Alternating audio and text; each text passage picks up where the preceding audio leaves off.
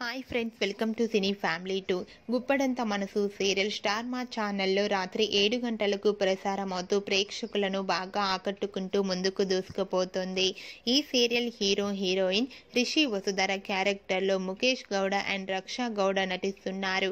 అయితే ఈ సీరియల్లో విలన్ క్యారెక్టర్లో ఎంతో మంది వస్తుంటారు పోతుంటారు. అయితే గుప్పడంత మనసు సీరియల్లోకి మరొక విలన్ ఎంట్రీ ఇవ్వబోతున్నారు. అతని పేరు ఏమిటంటే షరీఫ్ విక్రమ్. షరీఫ్ విక్రమ్ ప్రస్తుతం జీ తెలుగు ఛానల్లో ప్రసారమవుతున్న ప్రేమయంత మధురం సీరియల్లో విలన్గా జరందర్ క్యారెక్టర్లో నటిస్తున్నారు. అండ్ అలాగే షరీఫ్ విక్రమ్ రాధమ్మ కూతురు సీరియల్లో విలన్గా కూడా నటిస్తున్నారు.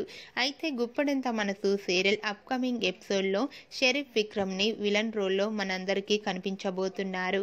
గుప్పడంత మనసు సీరియల్లో షరీఫ్ విక్రమ్ ఎంట్రీ గురించి మీ అభిప్రాయాన్ని మీ కామెంట్ రూపంలో తెలియజేస్తూ ఈ వీడియో మీకు నచ్చినట్లయితే మీ అభిప్రాయాన్ని మీ కామెంట్ రూపంలో తెలియజేస్తూ లైక్ చేయండి షేర్ చేయండి. మరిన్ని ఇంట్రెస్టింగ్ అండ్ లేటెస్ట్ అప్డేట్స్ కోసం మా సినీ ఫ్యామిలీ టూ ఛానల్ని సబ్స్క్రైబ్ చేసుకోండి.